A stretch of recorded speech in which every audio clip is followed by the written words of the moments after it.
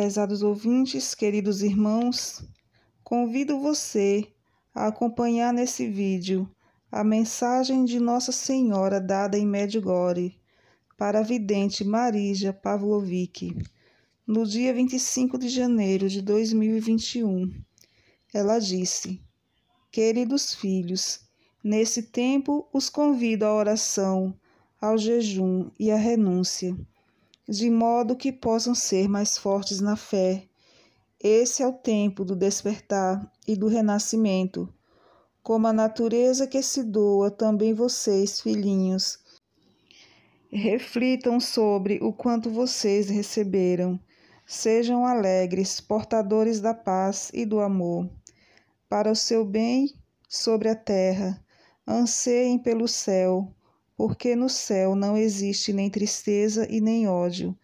Por isso, filhinhos, decidam-se de novo pela conversão e a santidade reinar em suas vidas.